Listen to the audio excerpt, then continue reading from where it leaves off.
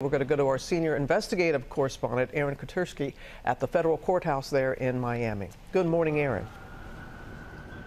Robin, good morning to you. The former president is expected here this afternoon to present himself at court. He's going to be taken to the 13th floor, appear before a federal magistrate, where he could enter a plea of not guilty.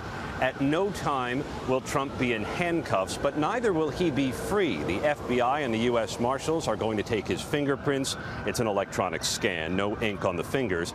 They'll also take his mugshot. Around here, there's little visible security other than a stretch of yellow tape around some trees. The courthouse is open for business, though proceedings may be limited once Trump arrives. The Secret Service, though, is tracking online invitations to demonstrate against the indictment. Some of those invitations have echoed Trump's incendiary rhetoric about the charges and the special counsel. The police are on alert for any sign of trouble, saying they're taking this seriously and preparing for a crowd of 5,000 to 50,000.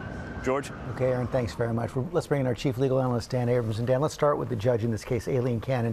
Earlier, she had some very favorable rulings to Donald Trump. Some said they were flawed as well, they were overturned. She could have enormous impact on this case. Huge. Uh, she can impact everything from how long the case takes, when it starts, uh, jury selection is going to be very critical. What evidence gets admitted or doesn't? Classified information detailing exactly, you know, what should be declassified, what shouldn't, what should the defense have access to, what shouldn't they?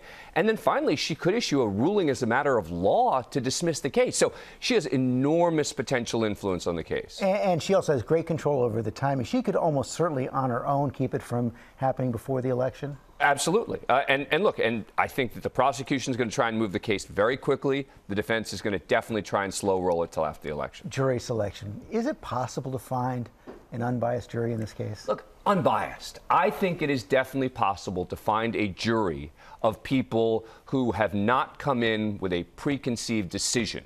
It is stunning. I've covered trials my whole career.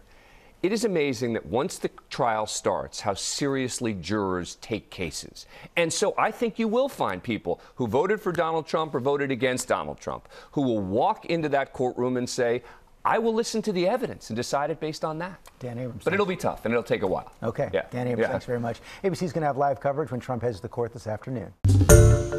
Hi, everyone. George Stephanopoulos here. Thanks for checking out the ABC News YouTube channel. If you'd like to get more videos, show highlights, and watch live event coverage, click on the right over here to subscribe to our channel. And don't forget to download the ABC News app for breaking news alerts. Thanks for watching.